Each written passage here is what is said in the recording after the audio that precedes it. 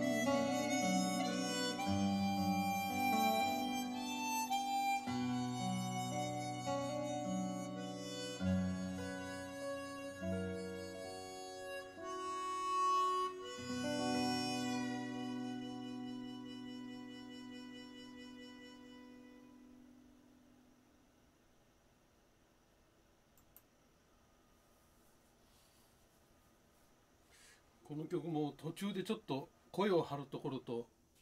ハーモニカが強く吹くところでちょっと厳しい私の打奏値ではかなり厳しいソフトです。